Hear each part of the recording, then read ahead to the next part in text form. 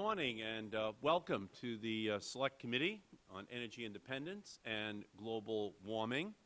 Uh, this morning, the Select Committee is meeting to assess the present state of the coal industry and to explore how coal can continue to play a role in a new energy age. Coal was mined in this country before it even was a country. The first 13 states appeared on a United States flag after coal mines appeared on our maps. Coal has helped power America for nearly 300 years. And just like millions of other American families, over the years, the Markeys had a close personal relationship with coal. After my grandfather got off the boat from Ireland in 1902, he got a job hauling coal for the Lock Coal Company in Malden, Massachusetts for the next 30 years. And when I was a boy, I spent many cold winter mornings shoveling coal into our furnace at home. Much has changed since those days. We are entering a new energy age, an age in which technology is making it possible to harness energy from the wind, the sun, the atom, shale gases, and efficiency measures. Today, many Americans are asking if coal is safe enough, if coal is healthy enough, and if coal is innovative enough to be part of our shared clean energy future. Nine days ago, in the upper Big Branch mine in West Virginia, 29 miners lost their lives. The incident reminds us that mining coal is a dangerous job performed by courageous people. We owe it to the fallen miners and their families to take a harder look at the entire structure of mining safety. And today, our prayers go out to the families of those who lost their lives and to all, all coal miners. The public is also concerned about how safe the mining and burning of coal is for our environment and for our health. From the effects of mountaintop removal to air pollution that causes asthma and other health effects, to mercury levels that spike near coal-fired power plants and catastrophic releases of fly ash, coal faces a myriad of environmental challenges. And finally, the burning of coal also releases carbon dioxide, which traps heat and is causing the Earth's temperature to rise. Climate change is a serious problem, and yet some in the coal industry deny that the problem of global warming even exists and have contributed to organizations that spread doubts about science and policy. That has led many to believe the industry is not committed to finding a solution to our pollution problems. Meanwhile, the challenges from coal's competition are growing. Last year, coal's share, uh, coal's share of America's electricity generation dropped from uh, 49 percent to 44 percent due to increased competition and decreased demand. In 2009, 40 percent of all new electricity capacity built was from wind, roughly the same as natural gas. Meanwhile, no new coal plants broke ground. While the rest of the energy world is already moving to a lower carbon future, people wonder whether the coal industry is stuck in another time. When Henry Waxman and I were crafting the Waxman-Markey bill that passed the House last June, we worked with several members from coal states to better understand the challenges faced by the coal industry and how to respond to those challenges. That's why we dedicated $60 billion in assistance to the coal industry to help design and build the carbon capture and sequestration plants the industry so desperately needs. And so the question on the future of the coal industry is whether the coal industry and coal-burning utilities will embrace innovation or stand pat and fight change. We have seen this before. The American automotive manufacturers successfully resisted new fuel economy standards, claiming that the technology to turn gas guzzlers to fuel sippers was neither available, affordable, nor preferable. And eventually, the folly of their strategy of delay became clear. Consumers abandoned their products, and two of the three major American automotive companies received a U.S. government bailout in order to survive. Today, with the future of the coal industry in your hands, I challenge you to join us in charting a new path forward to prevent a perilous outcome for your industry and for the planet. And I ask that you cease efforts to deny the science of global warming and to stop spending millions of dollars uh, in misleading the public as to the true science behind climate change.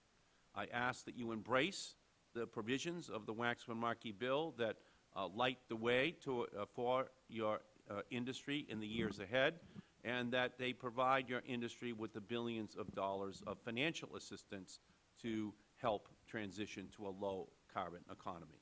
I believe that there is a successful future ahead for the coal industry centered on safer and cleaner practices uh, for your fuel, for your workers, and for the earth.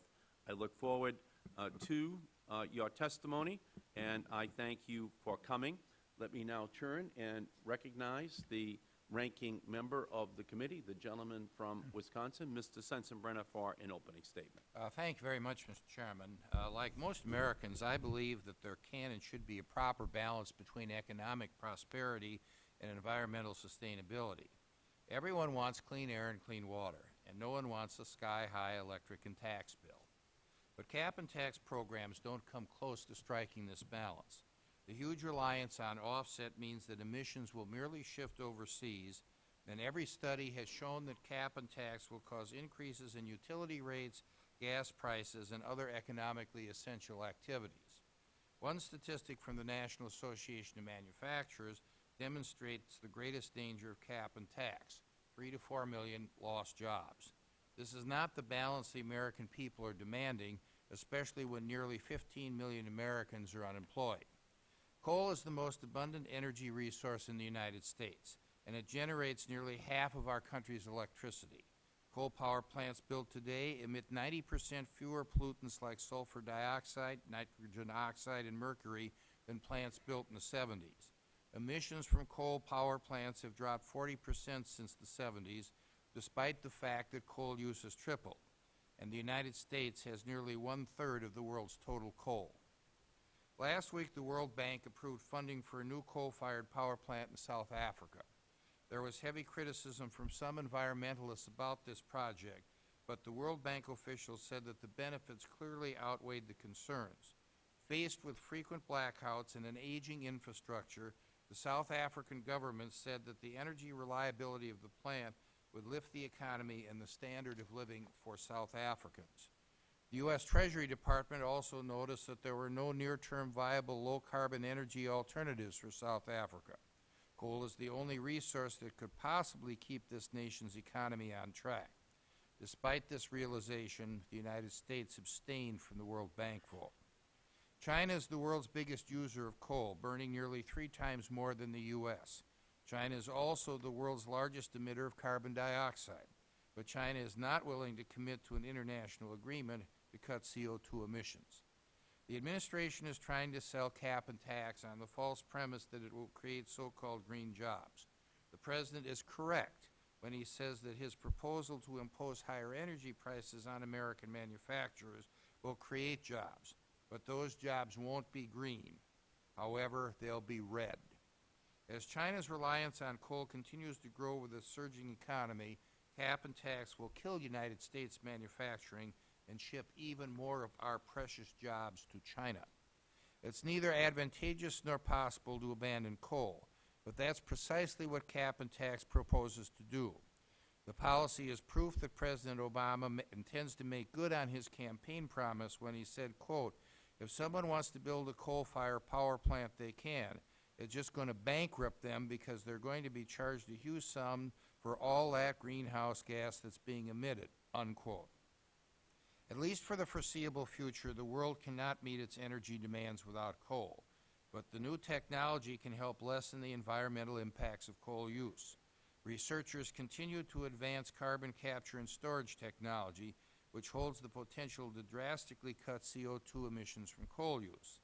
The test project at the We Energies power plant in Ple Pleasant Prairie, Wisconsin, last year successfully captured 90 percent of carbon dioxide emissions.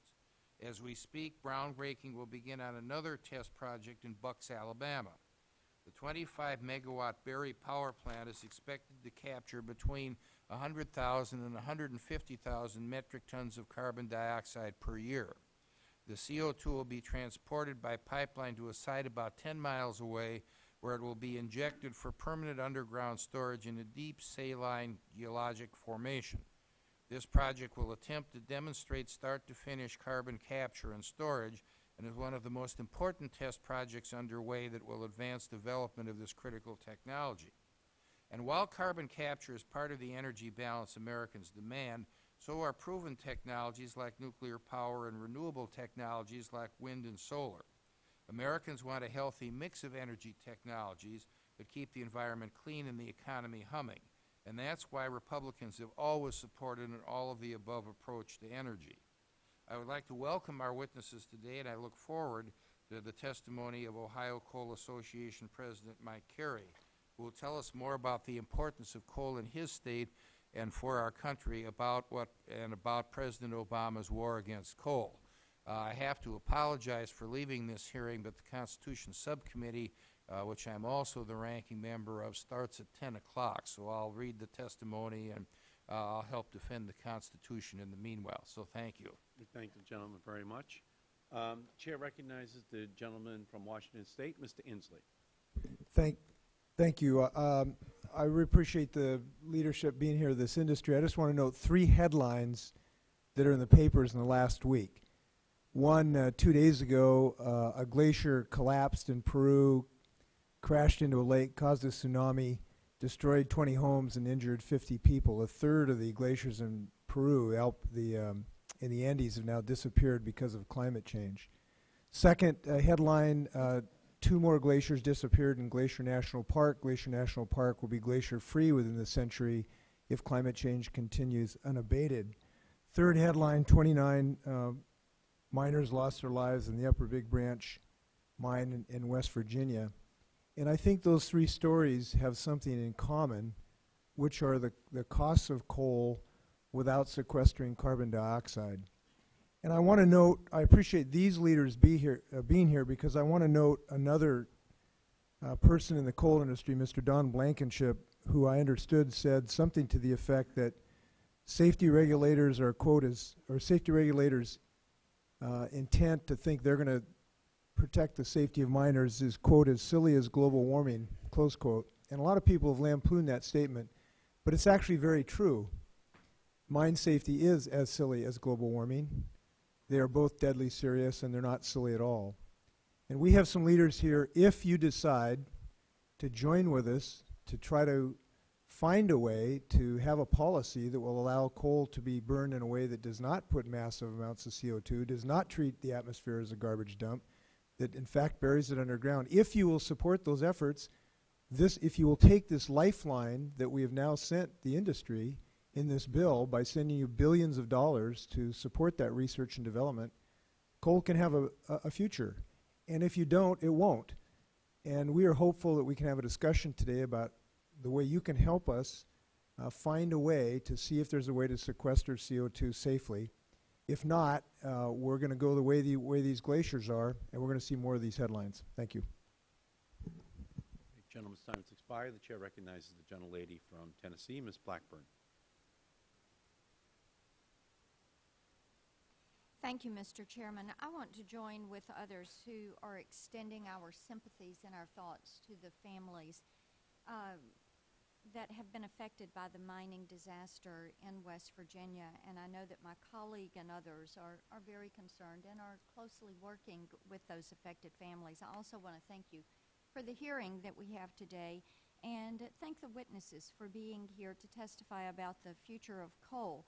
We've heard some about some of the innovative clean coal technologies, the carbon sequestration that is there, and these are important to those of us who support the use of coal and are concerned about having the ability to continue to use this natural resource as we look at our nation's energy supply. We have to realize that domestically produced coal directly employs over 70,000 Americans, and it does contribute hundreds of billions of dollars to our national economy each and every year. With vast coal resources, the U.S. has a secure source of energy not subject to foreign embargoes or cartel driven pricing. It is enough for the next 200 years, and Mr. Markey has already highlighted uh, 300 years of use with this product that is right here on American land. As a cheap source of energy, coal power contributes significantly to our high standard of living, quality of life by, by producing abundant, inexpensive heat and power. Certainly, those of us in Tennessee are appreciative for the use of coal and realize that we are receiving electricity that is generated by TVA. 40% of their capacity is generated by coal. Since the founding of our republic, coal has played a critical importance in our economic and our technological processes. And we are looking forward to how that is going to continue and move forward. We welcome you, and I yield back. Great. We thank the gentlelady. The gentleman from the state of Missouri, Mr. Cleaver, is recognized. Thank you, Mr. Chairman. Uh, let me uh, first of all welcome uh, Gregory Boyce and Steven Leer, both of whom are from uh, the uh, state of Missouri. We welcome uh, you to the committee hearing. And then I would also associate myself with the comments of uh, the uh, gentlewoman from Tennessee, Ms. Blackburn, uh, in expressing sympathy with and concern about the people in West Virginia, Ms. Capito's uh, district. Um, and while I know that there is a great deal of push on what is uh, referred to now as Climate Gate, uh, that, uh, that, that there were those who were hiding data. Uh, and then when you add to it the, uh, the unusual winter we had, even here in Washington, there were, are those the climate change, change skeptics who say you know, this is a big hoax. And although it's counterintuitive, the truth of the matter is that um, we have more snowstorms uh, when it is uh, warmer. And uh, we also, I think, should be aware of the fact that the Center for American Progress says that in spite of what happened here in Washington and, and in uh, areas here on the East Coast, uh, January was the coldest uh, January we've had since records have been kept globally. And so I think we do have an issue that we, we need to, to, to deal with. And uh, China has 80% of its uh, energy supply coming from coal, 40% uh, of, of the U.S. energy comes from coal. it's going to be around uh, for a while. There's no question about it. Uh, but just as we look at the tragedy in West Virginia, I think there are some exciting things happening in, in West Virginia as well that uh, I hope others can look at, particularly even in my own state. the American Electric Power's Mountaineer Coal plant in West Virginia is doing some remarkable research in terms of being able to, to uh, direct the CO2 uh, underground uh, and uh, they hope to have a commercial scale demonstration by 2015. And it, it, would be interesting and productive and positive, I think, for us to discuss the possibility uh, of whether that is exclusively a West Virginia uh, deal that can't be reproduced elsewhere, or whether, it, in fact, it's something that we can export from West Virginia across the country. We have some unique problems in the Midwest. Uh, we are heavily uh, coal-using area of the country. Uh, and I think that uh, if we all work together, uh, facing the reality that it is that the planet is getting warmer, that, that we do have an increase in the in the greenhouse gas gases in our atmosphere, and we all can work together to do something about it. Thank you, Mr. Chairman. I uh, yield back the balance of my time. We, the, uh, the, we thank the gentleman very much. Um, Chair recognizes the uh, gentlelady from uh, West Virginia, Ms. Capito. Uh, and again, we extend the sympathies of the co entire committee to your Thank state, you. to your workers. Thank you, Mr. Chairman. I thank the witnesses, and as a um, native-born West Virginian, uh, I want to thank everybody uh, here and, and really throughout the nation who have extended their deep sympathies to us.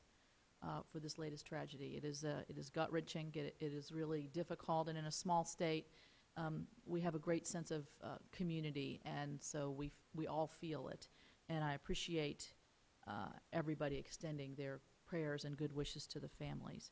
Um, I think it's um, last week's mine disaster at Montcoal at the Upper Big Branch mine killed 29 miners. It was the, the worst mine disaster in 40 years.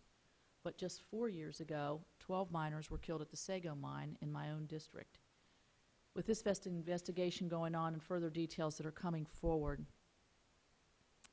we must continue our commitment to keep miners safe and safety first. Um, we cannot permit this, and we have to prevent this from happening again. Uh, the Upper Big Ma- Branch mine disaster only furthers people's questions of coal mining and has led many to discuss the future of coal. As we've heard today, coal is a primary source of energy throughout the world. Our fast-growing countries, and I'd be interested to hear the uh, gentleman's testimony on how much they're exporting to China and India to rely on coal as the, to fuel, the, fuel their energy demands. But here in the United States, coal is our most abundant domestic resource with recoverable resources sufficient to last 250 years. Coal currently fuels 50% of our electricity in this country. In my state of West Virginia, coal powers 98% of our electricity. Nationwide, it provides 125,000 direct, well-paid jobs for the U.S. coal miners and supports hundreds of thousands of additional jobs throughout the supply chain. While considering the future of coal in the global warming debate, the things we need to consider and we need to remember is that climate change and energy policies are inextricably linked with economic, environmental, and social issues. Last year, the House passed the American Clean Energy and Security Act, which I did not support this legislation because I believe it stood to push energy prices upward and threaten an economy that's already in trouble. I also was displeased with the way I felt it set up winners and losers across this country. A tax increase on carbon dioxide emissions will directly come out of consumers' uh, pockets in the term of higher electricity rate. Manufacturing output would also fall considerably. Manufacturing firms who have traditionally lied, relied on low and stable electric rates in our states would be subject to massive cost increases, likely forcing them out of business or at least to relocate their operations overseas. We're seeing that now i- in any case. Instead, we need to do much more to accelerate the development of advanced clean coal technologies and most importantly, CCS.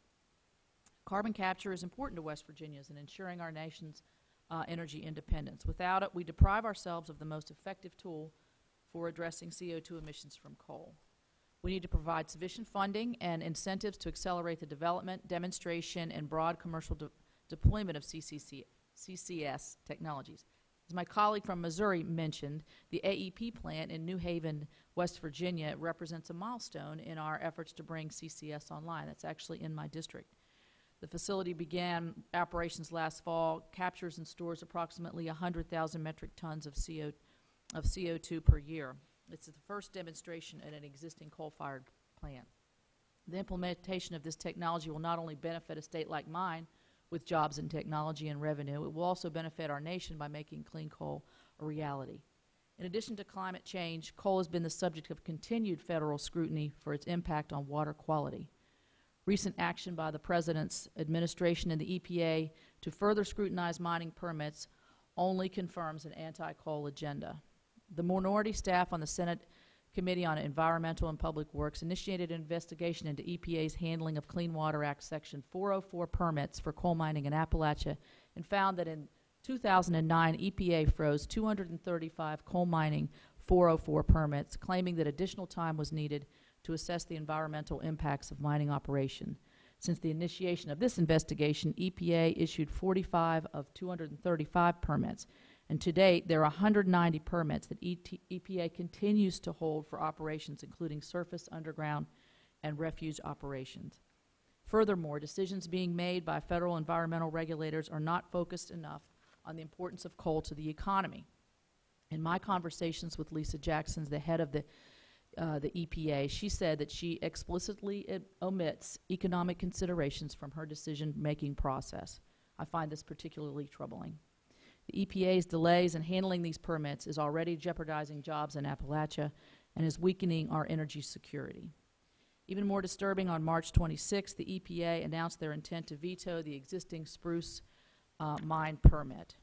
The decision by the EPA to veto the spruce permit brings into question the reliability of the entire permitting process and shows their complete disregard for the impacts it will have on uh, our nation's economy and on my state in particular. And I think it reeks of a lack of sense of fairness. I look forward to hearing the testimonies from the panel.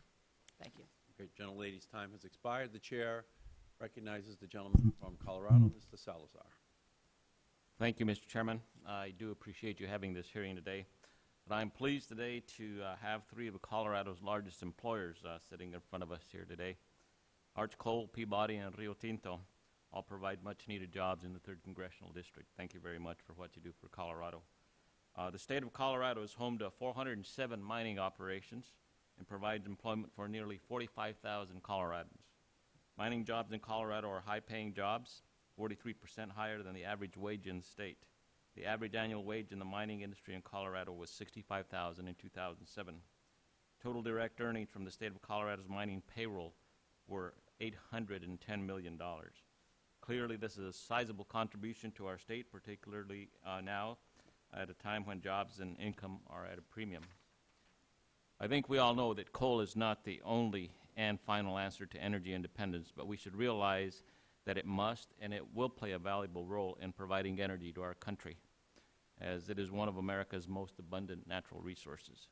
We must continue to invest financial resources in research and development for all potential clean energy sectors such as biofuels, solar, wind, algae, and carbon capture and sequestration. Mr. Chairman, I want to thank you for holding this hearing once again, and I think it's vitally important that coal remain a uh, source of energy, um, but we must uh, do everything that we can to minimize the carbon footprints that many mines and plants may leave behind. And um, I refer to one of your comments in your opening uh, statement where you mentioned that there was over $60 billion uh, provided for the coal industry for uh, clean coal burning technology, I believe. It is my understanding that uh, the bill only secured $4.5 billion, but maybe I'm mistaken. Thank you. No, it, it, I thank the gentleman. The gentleman's time has expired. Uh, The, i- inside of the Waxman-Markey bill, there is $60 billion, actually. for 60 billion. Carbon capture, yeah. Uh, At least $60 billion, to be honest with you. Um, the Chair recognizes the um, gentleman from Arizona, Mr. Shadegg. Thank you, Mr. Chairman, and uh, I'll request unanimous consent to insert my opening statement uh, into the record and not read it here in full in the interest of time for our hearing. Without objection, so ordered.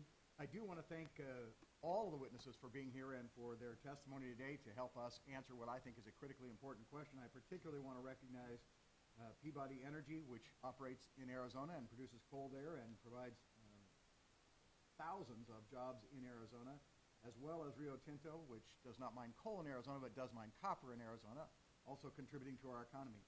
With respect to coal, coal is, as I think we all know, an important uh, natural resource uh, whose production uh, creates many jobs uh, for American workers. The United States has the largest national coal reserves in the world, representing 28%, I believe, of the global reserves. Uh, it is America's most abundant, abundant energy resource. We have approximately 270 billion tons of coal reserves, enough to last well over 250 years. How we handle this resource is vitally important. If we mishandle it and impose restrictions on it, which drive its cost through the roof or make it unaffordable, then we will all, as a nation, pay a price. Uh, any tax that we impose on carbon uh, will be passed on to the consumers of uh, the energy that carbon producing uh, fuel uh, produces and will be absorbed by those consumers uh, and will do damage to uh, the economic viability of the companies who rely upon it. Uh, obviously, we have a duty to be careful in our conduct and to carefully examine the issues. The questions about global warming need to be examined carefully and thought through thor- thoroughly. David Sokol of Mid-American Energy Holdings testified before the Energy Committee earlier this year that he could meet every single carbon capture and sequestration goal uh, in the Waxman-Markey legislation, but that by doing it by that legislation, we were doubling the cost. It seems to me we cannot do that to our nation at this particularly difficult and challenging economic time. We need those jobs and we need that energy. With that, Mr. Chairman, I yield back. They don't We, work. we, we, uh, no, they don't. This, they just don't work. the Budget Committee Can't afford hearing room where, yeah, has That's not properly funded their, um, their communication system. We thank the gentleman. Um, So that completes uh, opening statements from the uh, members. And uh, I'll just take a brief moment here. Um, Today is the last hearing for our Chief Clerk, Ali Brodsky. Uh, She has overseen every single hearing uh, of the Select Committee uh, since its inception, from the top of Cannon Mountain in New Hampshire to today in the Cannon Building. Uh, Ally has been our constant. We wish her all the best as she leaves to join Teach for America uh, in Chicago. And as proof of her dedication to the Select Committee, she is flying there tonight uh, and still came here today to uh, oversee and run this uh, last hearing. So, Ally, the committee owes you our thanks for your exemplary public service. Thank you so, so much for everything that you've done.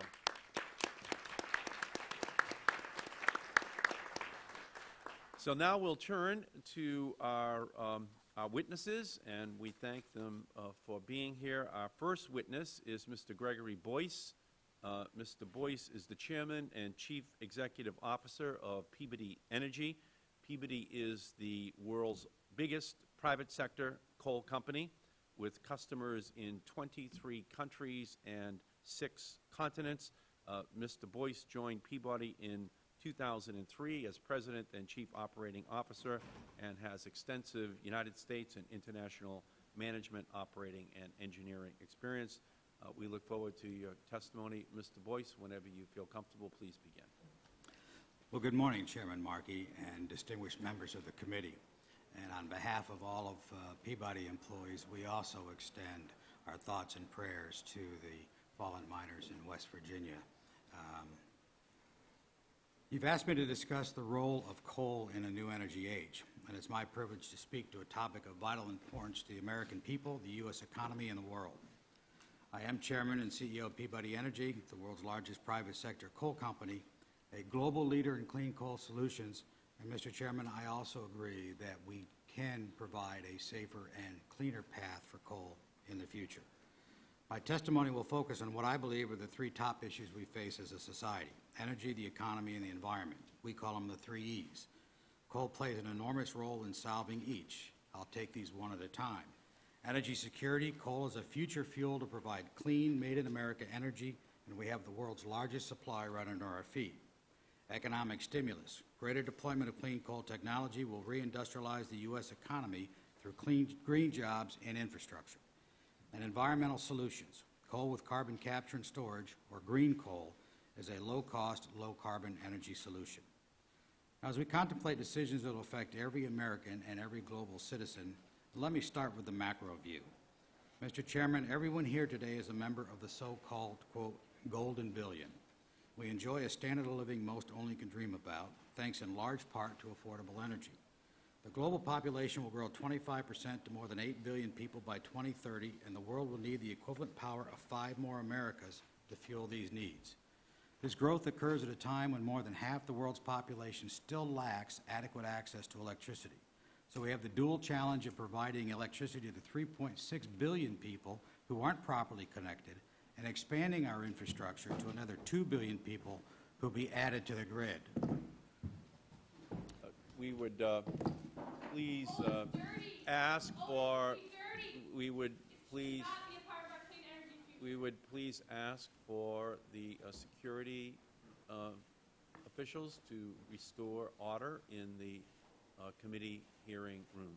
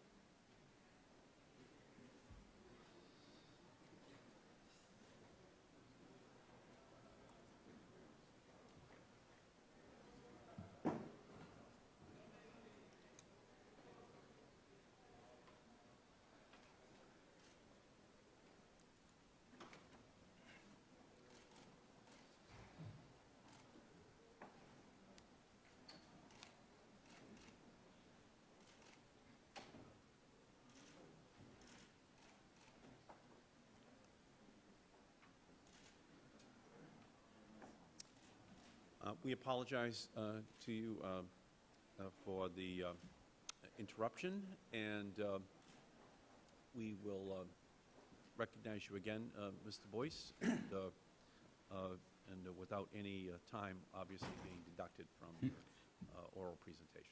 Thank you, Mr. Chairman. As I was saying, we, we have an issue of the 2 billion people who will be added to our energy grid in the future. And how do we satisfy this growth? With coal. It's the primary global generation fuel and is expected to grow faster than any other fuels combined in coming decades. So while some others call coal a bridge to the future, I say coal is the future.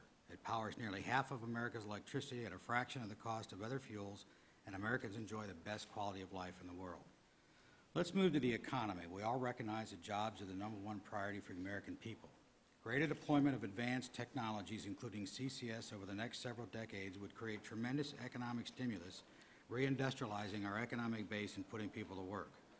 A 2009 study by the National Coal Council concluded that deployment of coal with CCS would increase U.S. GDP by $2.7 trillion, create 20 million job years from new construction, and support 800,000 permanent jobs over 40 years. Enhanced oil recovery from CCS would produce an additional 2 million barrels of oil per day. So our three E goals are complementary and advance through clean coal technologies which have a strong record of success. U.S. coal used for electricity generation has more than tripled since 1970, yet criteria emissions have been reduced by 84 percent.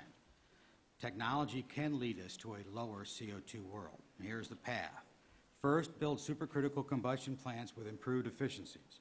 Second, demonstrate carbon capture and storage. We know the technology works. Statoil Sleipner project in the North Sea has been storing a million tons of CO2 annually for 15 years. Third, complete large-scale CCS demonstrations. Fourth, advance coal to gas with CCS, so the ultimate cost of capturing and storing CO2 is reduced. Next, deploy commercial-scale IGCC technology with CCS. And finally, retrofit the world's existing fleet of coal plants with CCS technologies. A growing number of studies conclude that coal with CCS is the low-cost, low-carbon solution, 15 to 50 percent less expensive than others. And around the world, nations have committed significant funding for CCS demonstrations. But the funding is needed to bring this, more funding is needed to bring this technology to commercial scale. That's a brief view of the essential role of coal and the need for continuous improvement in emissions toward our shared goal of near zero emissions.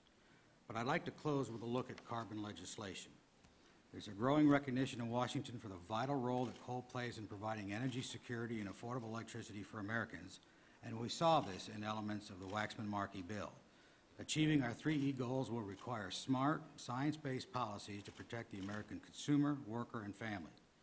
I say deployable technology should be available before regulation, and we have to take the time to get this right, and we have to have the national commitment to get it right.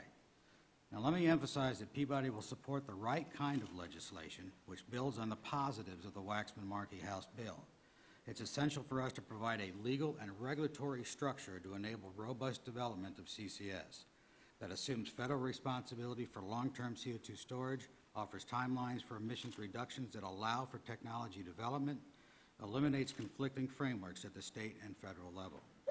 We believe that a strong energy bill that advances CCS is the best way to achieve both our energy and environmental goals. Those goals are not accomplished by cap and trade programs that will result in punishing costs to economies and family budgets. For those who say that a cap and trade system can be cost-effective, I don't agree. The only reasonable possibility on this front would be a ceiling of, say, $12 a ton that Senators Bingaman and Specter advanced several years ago. But here again, the only path to meet CO2 goals is through technology. I say this after just returning from China, where the presidents of both our nations have committed to a clean energy path that includes low-carbon coal. Peabody is the only non-Chinese equity partner in GreenGen, a near-zero emissions power plant that will begin generating power next year. If China can build these types of plants, why can't we not here in the U.S.? The U.S. could also be a provider of the technology for the rest of the world. So in conclusion, the real question isn't will we use coal? The U.S. has more coal than any nation on Earth. We have hundreds of billions of tons of coal in the U.S., trillions of tons in the world. We will use it all. The real question is what is the proper path to move to what the presidents of both China and the U.S. last year called, quote, 21st century coal. That path is technology first, deployment requirements second, as we work together to accelerate the movement to green coal. Thank you, Mr. Chairman. Thank you, Mr. Boyce. Our next uh, witness is Mr. Steven Leer. He has served as the President and Chief Executive Officer of Arch Coal since 1992. Arch Coal is the nation's second largest coal company. We welcome you, Mr. Leer. Thank you, Chairman Markey, committee members. I appreciate the invitation to offer my views on the role of coal and coal technology in meeting the nation's clean energy needs and for reducing CO2 emissions. But first, let me echo our prayers and sympathy for the min miners and their families that were lost last uh, week in West Virginia. This committee has an extremely difficult task addressing an extremely complex subject. With this in mind, I'm going to focus on just four points. My first point is that coal is being used and will continue to be used around the globe. Coal supplies roughly 23% of the U.S. energy needs and roughly 27% of global energy requirements. Global coal use since 2000 has increased more than any other fuel, and that trend is expected to continue. Coal is used, use is growing because it is abundant, widely distributed, and because it is relatively inexpensive. Coal helps billions of people around the world enjoy a higher standard of living than would otherwise be possible. That's the good news. My second point is the bad news. Coal emits more carbon dioxide than other major fuel sources per unit of energy, which brings me to my third point. We, be, we believe technology is the answer. Clean coal technology has solved earlier environmental problems associated with coal use and continues to improve the burning of coal's emissions. Emissions of particulate matter, SO2, and NOx have gone down as previously referenced in several comments. We can be successful in capturing and isolating CO2 with carbon capture and storage technologies, or CCS. Most elements of CCS have been shown to work in, in individual elements, but not necessarily at scale or altogether. And it is not inexpensive at the moment. DOE and others have developed technology roadmaps for solving the technological problems associated with CCS and driving down costs. We know where we need to go with CCS, and we have identified a path to get there. But I'm not saying that we are there yet, because we are not. But I'm convinced that we can get there, first because we've already gotten off to a fairly good start, and second, because we really have no other choice if we're serious about go and going to be successful in stabilizing global CO2 concentrations in the atmosphere. And that is not just my view. In former Prime Minister Tony Blair's assessment of CCS, he said, quote, the vast majority of new power stations in India and China will be coal-fired. Not may be coal-fired, will be. So developing carbon capture and storage technology is not optional. It is literally of the essence, unquote. Remember, China uses three times as much coal as the U.S., and the Chinese use of coal is growing at about 200 million tons every year. The International Energy Agency found that a scenario which lacked a CCS option was 97% more costly than one which included CCS technology. The IEA has concluded that, quote, CO2 capture and storage for power generation and industry is the most important single new technology, unquote. CCS technology is also a, a, job creator. A report last December by the National Coal Council, a federal advisory committee to the Secretary of Energy, concluded that CCS deployment through 2050 could produce 28 million job years of construction employment and create 800,000 permanent jobs. The promise of CCS still has many barriers to overcome. American Electric Power is at the forefront of CCS technology and currently is in the process of scaling up a test facility in West Virginia that will store about 1.5 million tons of CO2 per year in deep saline formations. Their pilot demonstration plant is built, but we can't say that we have solved all the problems yet. And in reality, we have over 2 billion tons of power plant CO2 to deal with in the U.S., let alone the rest of the world. My fourth and final point covers the actions that we need to take in order for CCS to be commercially available and affordable in a timely manner. One, we need to sharply expand the number of commercial CCS demonstration pro projects to the 15 to 20 recommended by the NRC. Two, we need to follow up with continuing financial support for the first 60 gigawatts of generating capacity. Three, we need to address the legal framework that poses barriers to CCS technology, like the long-term liability of the stored CO2. Four, we need to ensure that the policies do no harm or provide disincentives to CCS. For example, some are proposing that we provide a financial incentive to deploy, for the deployment of natural gas to displace coal in power plants. I believe this would be a mistake on several front- fronts. While natural gas emits 50% of the CO2 of coal, it will require CCS to achieve- the long-term climate goals. A dash to gas will put CCS development on hold, and the technology will not be available when it is needed domestically or globally. Of course, the availability of sufficient quantities of natural gas to replace coal, particularly a, at a reasonable price, is another question mark. An alternative approach would be to expand current proposals for federal renewable electricity standards to include fossil fuel generation with CCS, advanced nuclear power generation, and improved efficiencies at existing power plants. In closing, let me reiterate my four points. Coal is and will remain an important part of the U.S. and global energy mix, providing benefits to billions of people. Coal's issue is CO2. The solution is carbon capture and technology, storage technologies. Commercializing CS, CCS in the desired time frame will require industry, government collaboration, significant resources, and an appropriate legal framework. But it can be done. In fact, it must be done if we're going to stabilize global CO2 concentrations by 2050. Thank you for your time. Thank you, Mr. Leer. Uh, And our next witness today is Mr. Mike Carey. Mr. Carey is the president of the Ohio Coal Association. Uh, He has a diverse uh, background that includes military service uh, and legislative relations in both the energy and natural resource industries. Uh, We welcome you, sir. Thank you, Chairman Markey, members of the committee. My name is Mike Carey, President of the Ohio Coal Coal Association, border state to West Virginia, and our prayers are with the families there as well. I'd like to take a moment to thank my fellow witnesses, both from Arch Coal and Peabody Energy, for their continued commitment to the American coal industry. However, I must point out at this time that Rio Tinto has been divesting themselves of domestic coal reserves for many years, and I do not believe they represent the future of coal in America. Given the high levels of re- recoverable coal reserves and increasing demand for energy, especially in developing nations where low-cost electricity is essential, coal's future global success is assured. However, coal mining and use in the United States is severely jeopardized by the war on coal waged through the legislative process and the unprecedented regulatory actions. But in the rest of the world, our competitors are investing in coal to make them more competitive and to steal our jobs. China alone continues to build a new power plant about every week.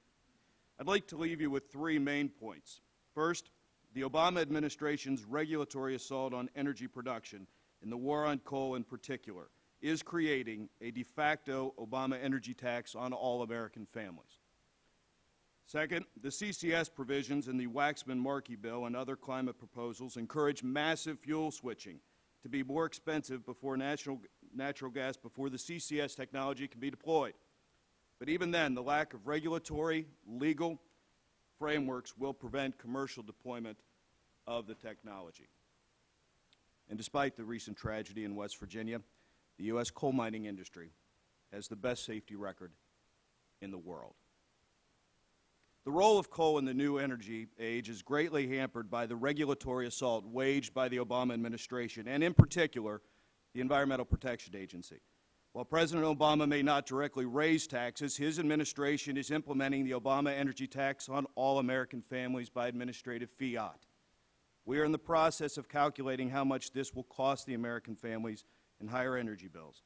The chart that you see behind me lists a number of the proposals, final, planned regulatory assaults on the coal industry, and I will briefly highlight a couple of them.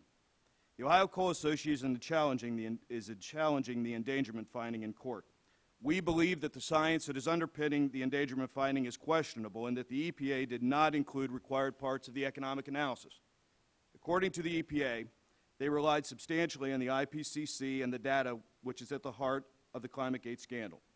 Only 52 scientists signed the UN IPCC Fourth Assessment Report, and it is cited in the endangerment finding astounding 49 times and 395 in the technical supporting documents. Next, we've seen the Clean Water Act used inappropriately in many ways to hamper the production and use of coal. such as the use of the Clean Water Guidelines on surface mining permits issued just last month, which would basically put a moratorium on mining in Appalachia. The Clean Water Act veto of an existing Army, Army Corps permit through the Corps of Engineers is unprecedented. The Waxman-Markey CCS provisions are an attempt to persuade the coal industry to support the cap and tax. The bill, according to my numbers, allocates $10 billion towards CCS, but misses the mark in two regards. First is timing. The legislation requires emission reductions starting next, in, starting in 2012. The restrictive performance standards on coal-fired power plants in 2020, ignoring what the developers of the CCS technology have been saying for years, which will take 15 to 20 years before commercial devel- development. The United States Congress simply cannot dictate a timeline of technological developments. Secondly, the bill calls merely for a study to report back to Congress with recommendations on issues such as CCS liability, permitting, and other environmental considerations. CRS and GAO have already provided information on liability and permitting problems and the need to address for CCS to work. The way the CCS program in the Markey-Waxman or the Waxman-Markey bill is structured actually encourage massive fuel switching to more expensive natural gas before the CCS technology can actually be deployed. But even then, the lack of regulatory, legal, liability frameworks will prevent commercial deployment of the technology.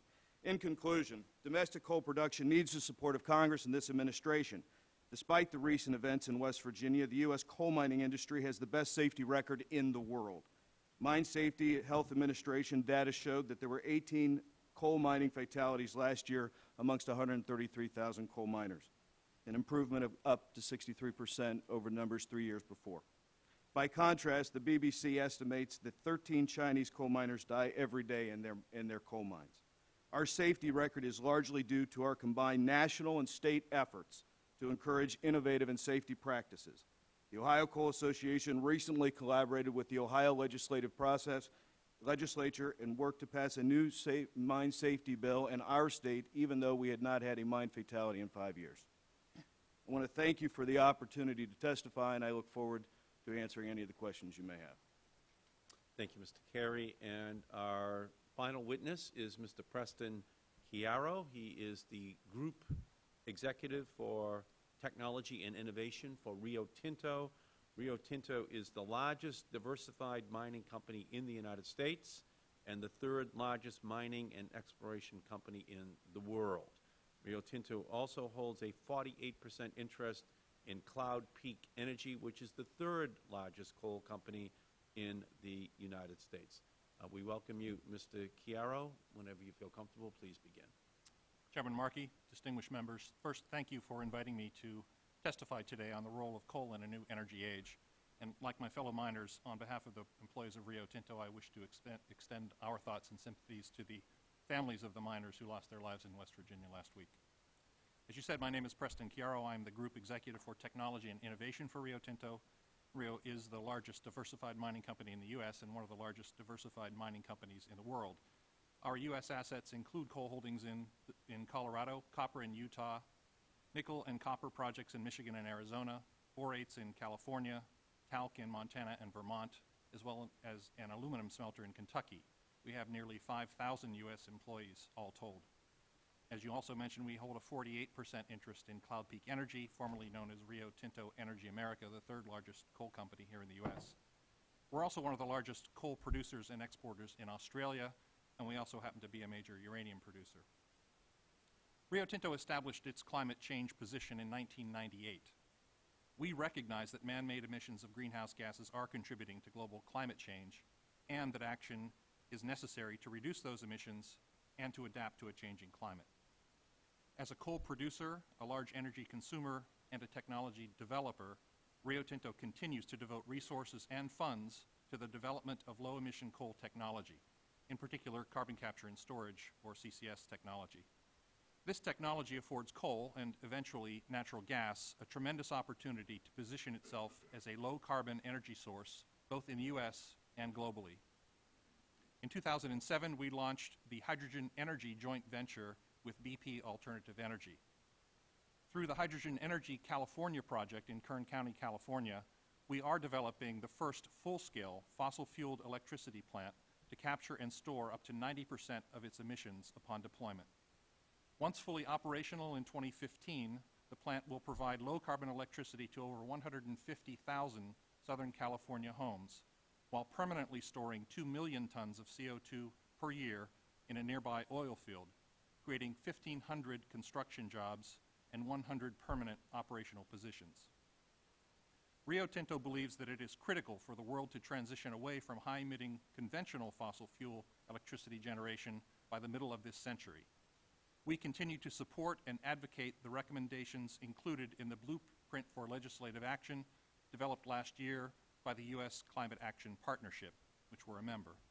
And we've gone on record in support of their inclusion in H.R. 2454 to address the existing technical, financial, legal, and regulatory bottlenecks to the commercialization of carbon capture and storage technology.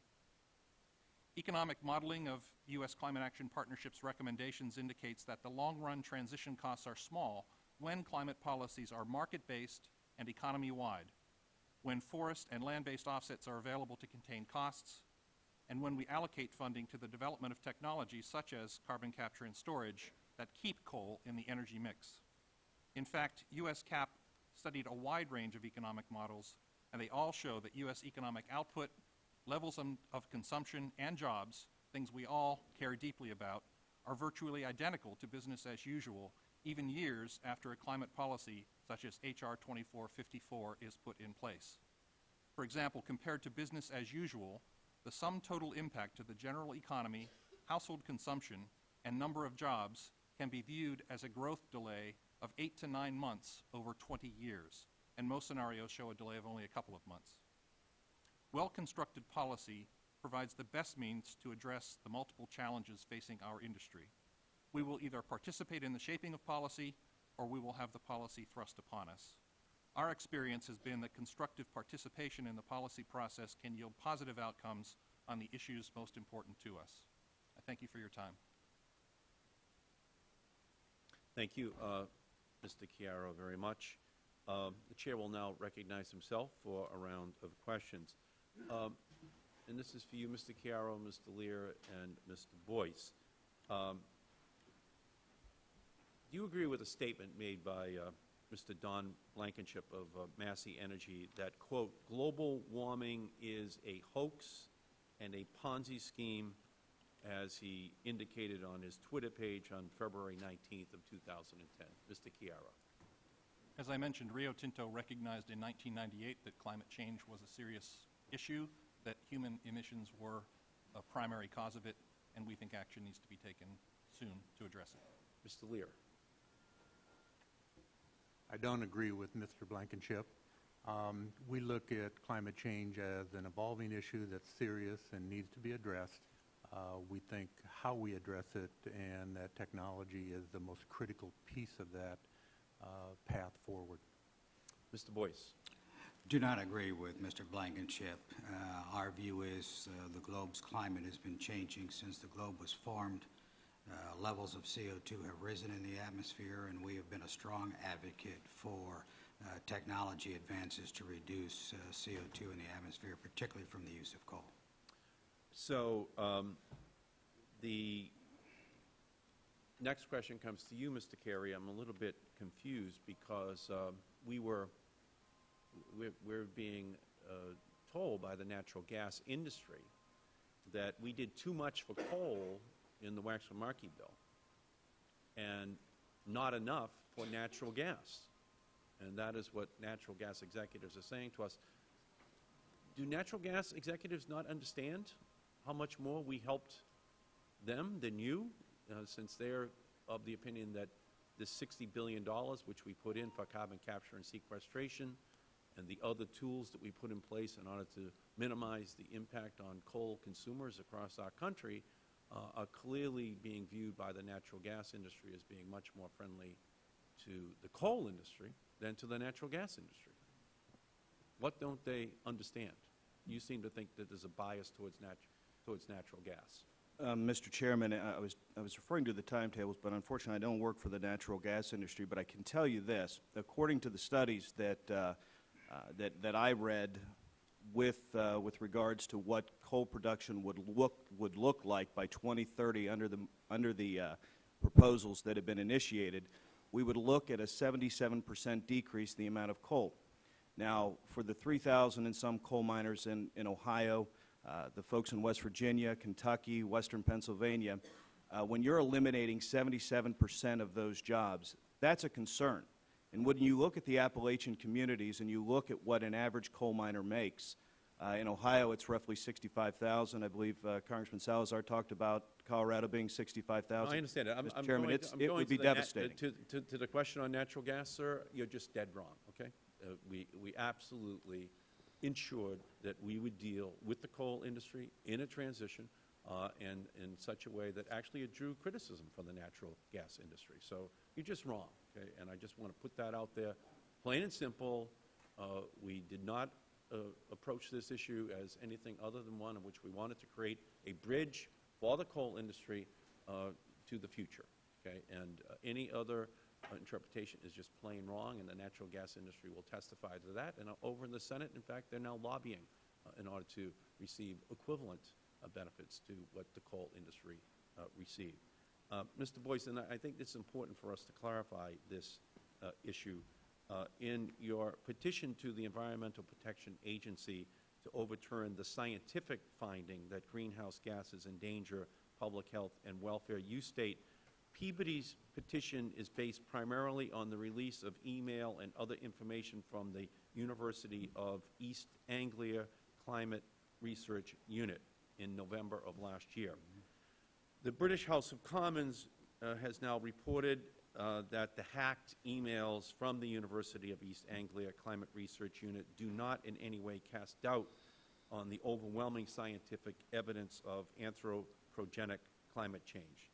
Do you now accept the broad understanding by scientists and governments that greenhouse gases threaten to destabilize global climate?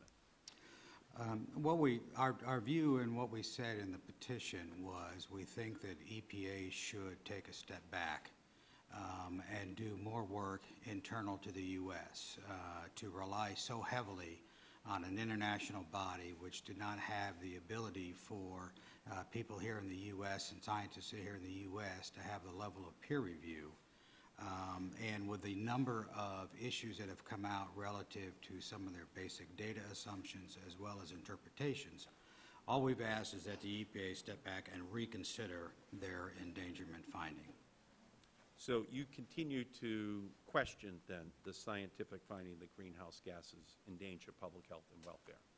As we look at the IPCC report and all of the issues that came out relative to its data and its interpretations, we think there needs to be another independent review of that data. Whether those findings are sound or not, we think there need to be another review to put to rest all of those issues. Uh, Mr. Leer, do you, uh, do you question the scientific findings that greenhouse ga- uh, gases endanger public health and welfare? I think that uh, the EPA is a very, and using the Clean Air Act and, and their approach, it, the Clean Air Act's a very blunt instrument to try to address a very complex problem. I'm just going to the question Right, of and- the and- you, you earlier seemed to indicate, you and Mr. Boyce, along with Mr. Chiaro, all seem to indicate that you acknowledge that climate change is occurring and that it is caused uh, by uh, CO2 or other greenhouse gases. And now it seems as though you're backing away from it. So I'm just trying to determine which is it. Is it I'm, o- I'm only going to the scientific question here of whether or not greenhouse gases do in fact cause global warming. I think they are contributing to global warming, and that, you know, again, I was trained as an engineer. I look at it, how do we address the problem?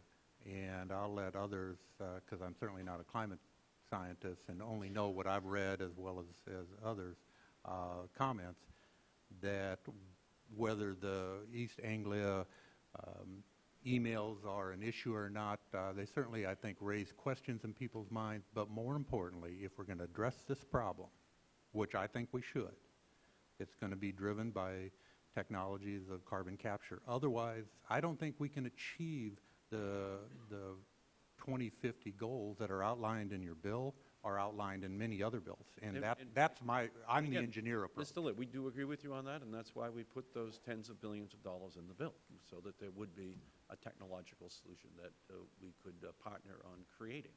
Um, Mr. Chiaro, do you uh, agree that, um, that uh, the scientific, uh, with the scientific finding that greenhouse gases endanger public health and welfare? Uh, We do think the science is strong, yes. Okay, well, we, we thank you for that. We, again, we, we need to have, if we're going to create a public policy, we at least have to agree on this basic fundamental fact, uh, that the planet is warming and that greenhouse gases uh, are contributing uh, to that problem. And, uh, and we still seem to have some disagreement here, and uh, you, Mr. Boyce, uh, are, are not, in fact, dealing with the issue scientifically in a way that divides the question from the, from the means by which we would then deal with the issue.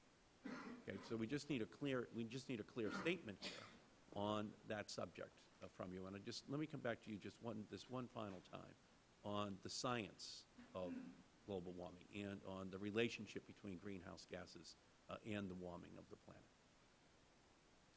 Well, as I said, Mr. Chairman, um, the, the one known fact that we deal with is that CO2 has risen uh, in the atmosphere over the last hundred years. Um, and what we have always said is we want to use coal cleaner every day that we use it. We have uh, almost a half, uh, almost a dozen clean energy projects that we're involved with in Australia, in China, in the U.S. Um, you know, I think the, you know, the scientific discussion, we leave to the scientists. Uh, What we say is, we understand the public policy and the desire to have cleaner coal. We agree with that. And we are putting a lot of money and a lot of effort into trying to make that happen on a global basis. Again, whether it's in Australia, uh, tens of millions of dollars, whether it's our partnership in China, uh, in GreenGen, or FutureGen uh, here in the U.S., We've made investments in Calera, uh, which is a uh, new startup company to produce cement from CO2 capture. We have money invested in Great Point Energy, which is trying to develop uh, cleaner ways of gasifying coal. So um, at the end of the day, it's our actions to try and promote and be a catalyst for clean coal technologies. And, and we agree with you, Mr. Boyce. That is, that your investments in Calera, your investments in other companies shows that you are working to solve the problem.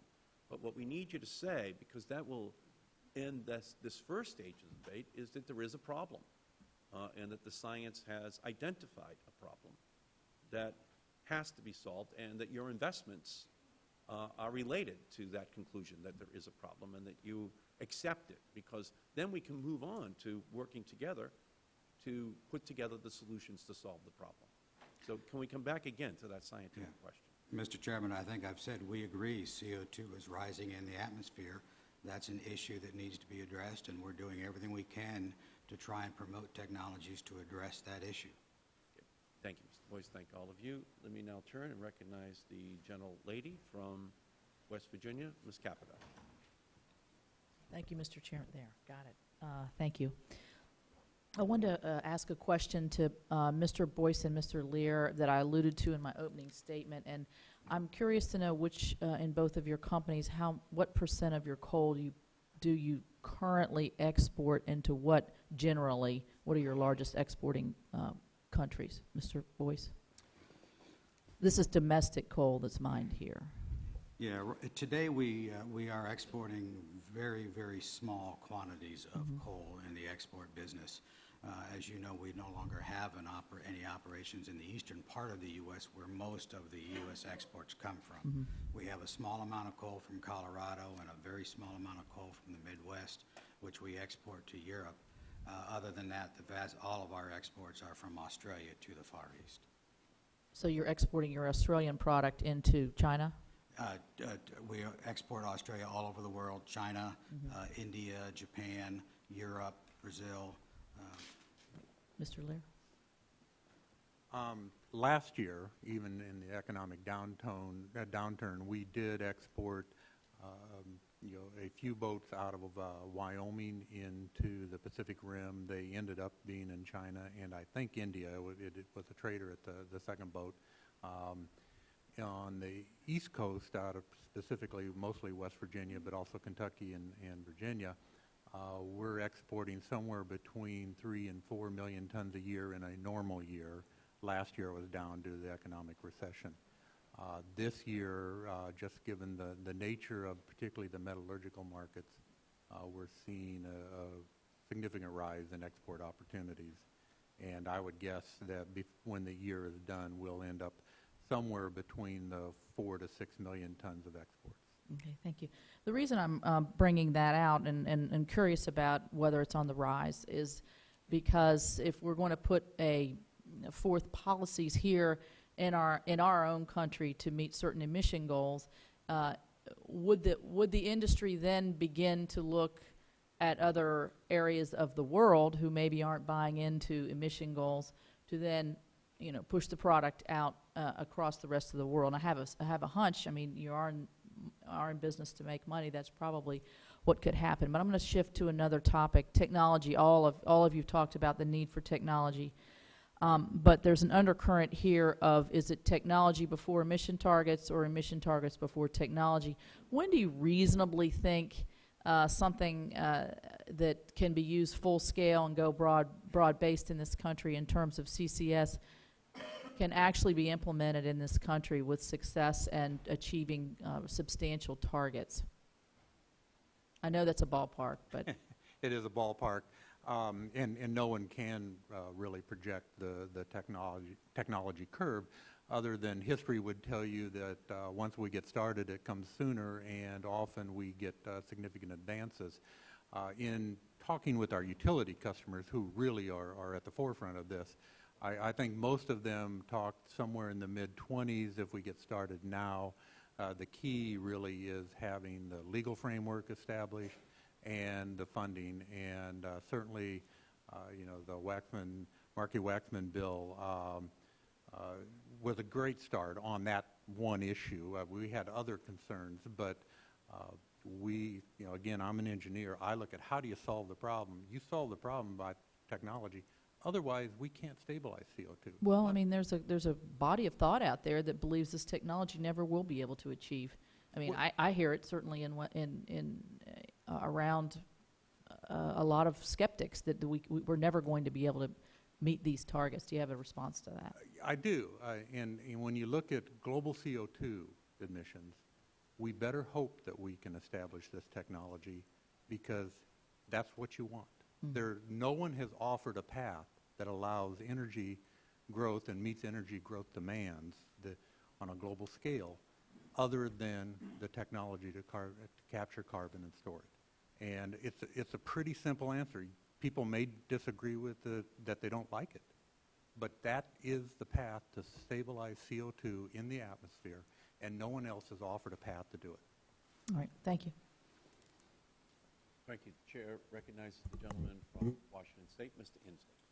Uh, Thank you. Mr. Carey, uh, I found your comments that somehow Congress is waging a war on your industry pretty astounding. Um, And the reason I say that is I was thinking about your comments. I I ran into my grandchild, he's 15 months old, yesterday on the sidewalk, got to mess around with him for a while. And I started thinking about what your industry is doing to his future.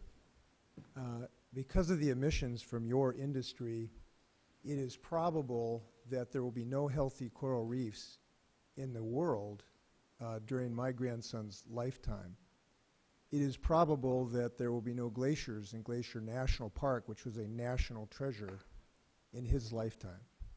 It is probable that the acidification of the ocean will continue to an extent that, in some ways that we can't entirely predict, will affect the food chain upon which the salmon depend, which my granddad and my dad and I and my wife fish for, that he won't be able to fish for.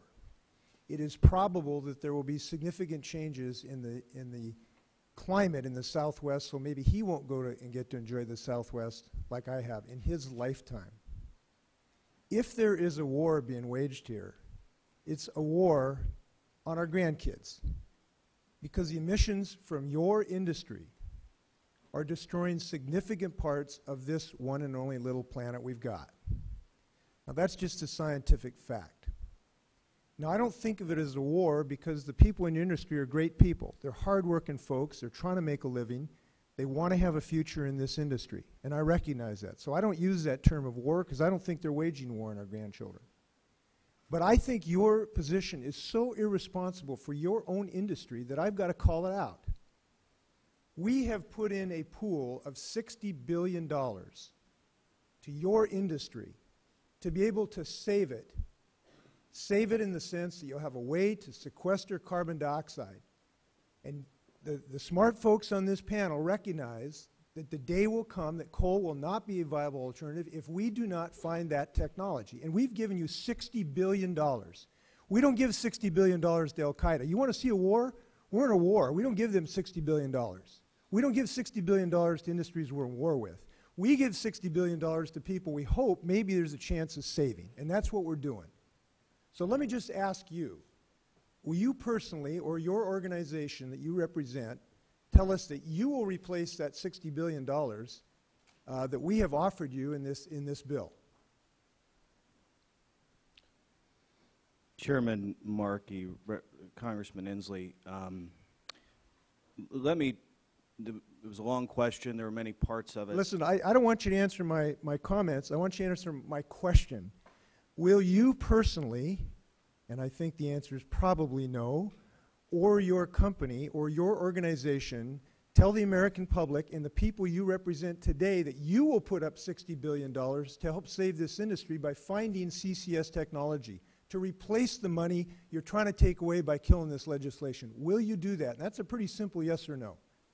Well, I, I think, the, uh, Mr. Chairman, Congressman Inslee, I, th- I think we have to we have to examine parts of the question. The, if we're talking about CCS technology, now look, I said on I said I'm the chairman of the Ohio Coal Technical Advisory Committee. This is a body that actually works with clean coal projects, and we have been looking at for the last 10 years uh, carbon sequestration and discussions on carbon sequestration. I appreciate that. Nobody, I, I, I really, I nobody really is arguing to that answer that the question. important. I would really appreciate an answer. Are you personally or your organization willing to commit today to spending $60 billion to try to perfect CCS technology, to replace the money you'll lose if this legislation doesn't pass? Just give me a yes or no. I've got one more question I've got to ask Mr. Boyce. Well, Mr. Chairman, Congressman Inslee, Inslee, I would say that CCS is important. But if you're asking well, I- me to pay, make a personal commitment that I will personally uh, put $60 billion into No, no, carbon about sequestration, that's industry? not a very serious How about your question, company? Congressman. Will your company My commit to this? association? Yes, My association association represents small, medium-range Okay, companies take your answer that as no. actually work on behalf of Ohio. Got it. Thank you. I got to ask Mr. Boyce a question. I'll take your answer as no. If you want to amend it, go ahead. Mr. Boyce, as I understand your position, uh, listening to your testimony, you seem to recognize the necessity, if, if not urgency, of de- developing CCS technology.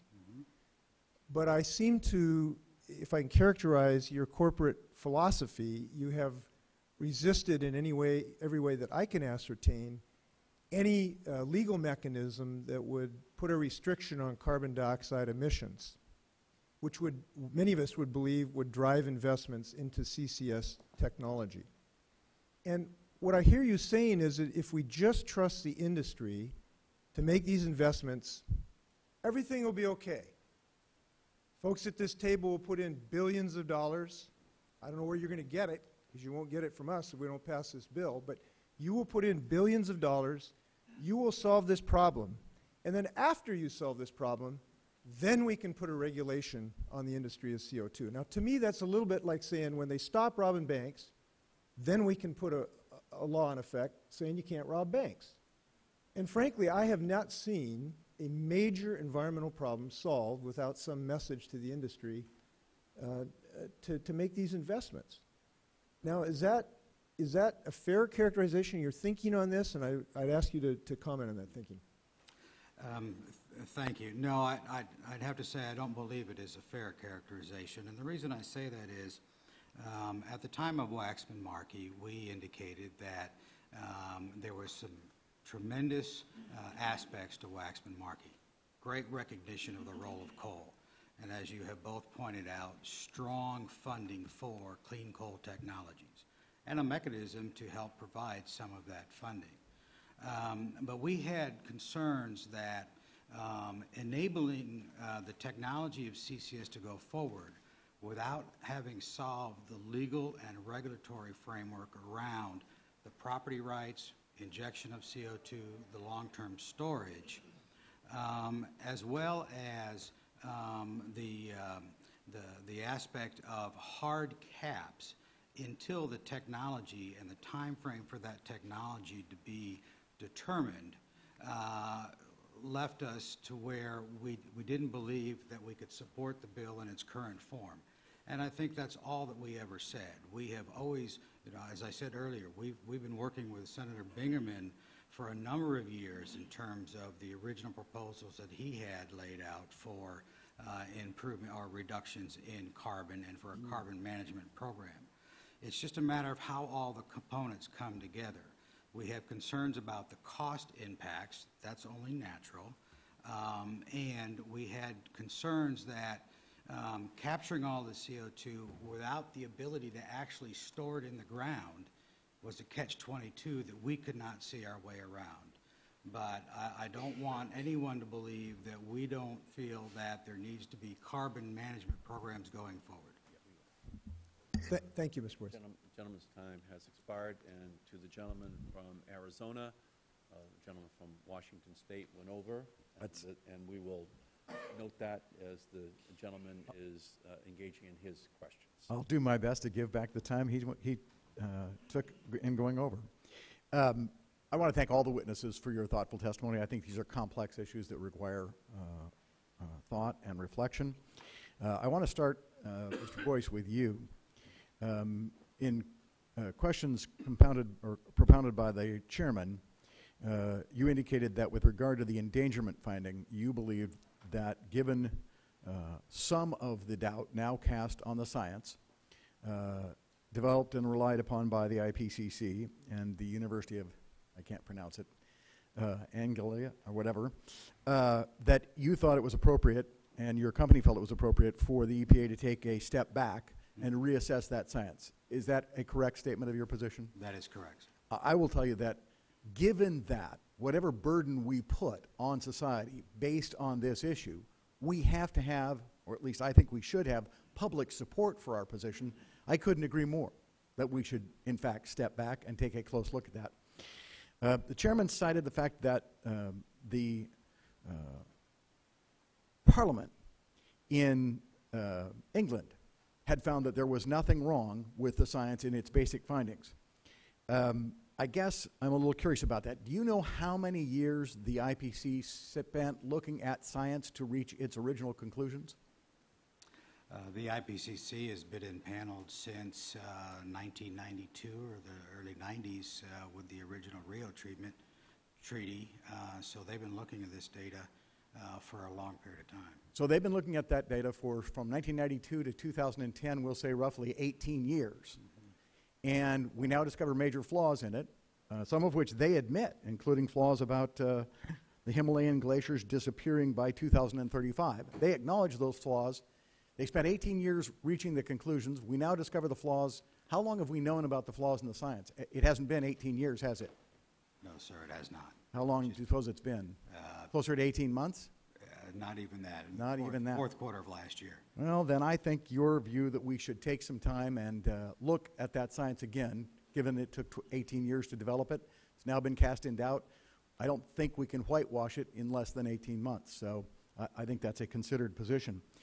Um, I also want to uh, clarify a point you made earlier. I believe you said uh, that you, in fact, support CCS and CCS technology and all clean coal technology.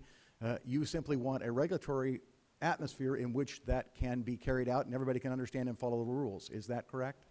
Uh, That is correct. As I said earlier, we have been involved, we're involved in a number of clean coal technology projects across the globe, China, Australia, here in the United States. And we just firmly believe that we have to understand the, the timeframe for deployment of the technology and the cost impacts to the economy of that technology deployment before we put the hard caps in place.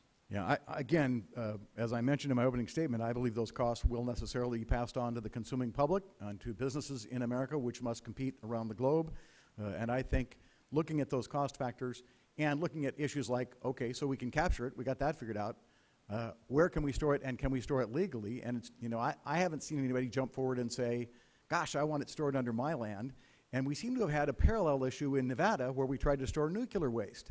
And some people in Nevada seem to get upset. I think there's a United States Senator who's a little concerned about the storage of nuclear uh, waste uh, in that state. It seems to me storing carbon might be almost as complex as storing nuclear waste. Um, could you, can you elaborate for the committee, and this will be my last question, uh, the specific elements of legislation we could pass that would allow for the utilization of coal that was in fact clean and in which the carbon had been removed and we'd resolve some of those issues so that we could in fact stop any of the uncertainty that I think is now impinging upon the development of coal, en coal energy in the United States. Well, I think as I indicated in my written comments and briefly alluded to in my verbal comments, uh, we've laid out a path for technology. Uh, I, I firmly believe that supercritical and ultra supercritical power stations that are carbon capture ready, uh, as well as IGCC plants that are carbon capture ready, should be enabled to be built today. Uh, we know with the work, for instance, that AEP is doing, that we will have retrofit technology available for those plants. But in the meantime, we have a serious need for additional energy, as does the rest of the world. Um, and so that's the first step. And then these carbon de demonstrations, uh, FutureGen. We have been a founding member of FutureGen, and like the committee, have been very frustrated that we have not been able to get that project up and running yet, although we continue to work extremely hard at trying to find the rest of the funding for that project. It's a full-scale plant, inject CO2 in the ground and store it.